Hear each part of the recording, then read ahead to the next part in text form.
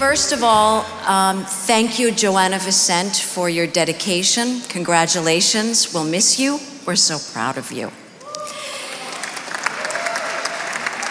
It was the summer of 2002, and I found myself standing on the Brooklyn Bridge.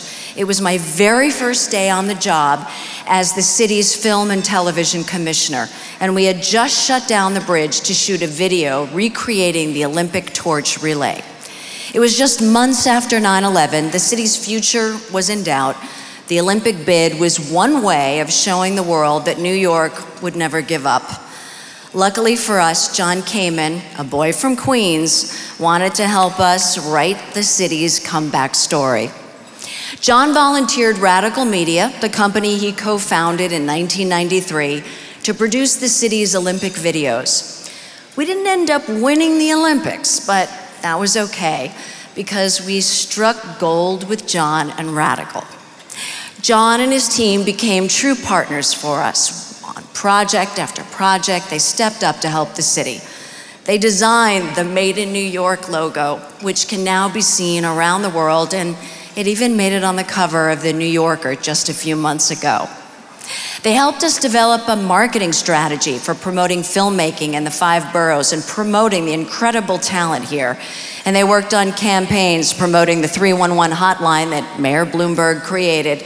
And after Hurricane Sandy, Jon and Radical helped us with community projects in Jamaica Bay. Jon has given so much back to our city, and he's given so many people in the creative community amazing opportunities to tell stories and reach diverse audiences. From the film The Fog of War to the pilot for Mad Men to the documentary on Hamilton, Jon has helped raise the bar for excellence in filmmaking.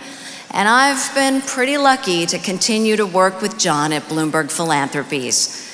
Jon was our partner for our very first documentary about the coal industry called From the Ashes, which aired on National Geographic.